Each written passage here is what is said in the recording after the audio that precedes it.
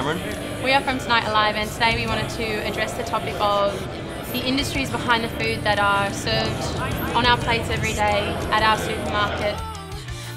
What kind of pushed me into vegetarianism was starting to question what kind of life did this animal live? How long ago was it slaughtered? How long has it been sitting on the shelf? Where did it come from?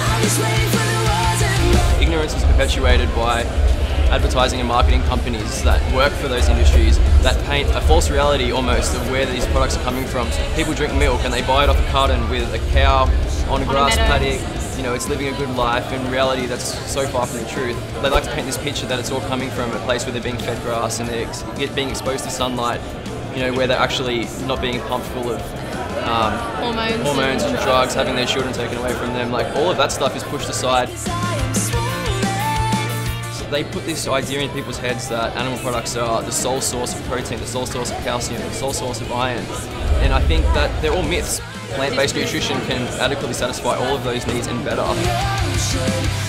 We feel that humans are naturally compassionate beings, and uh, a lot of the time we do choose to be ignorant, but it is a, a light that we are brought up, raised, live, and breathe. So I guess it's not until we are exposed or feel ready to expose ourselves to these truths that we can make changes to our lives. If you um, are ready to dive into the deep end and experience some pretty graphic footage, I urge you to watch the documentary Earthlings. Um, it's a comprehensive um, documentary that covers um, all areas of animal abuse beyond just food.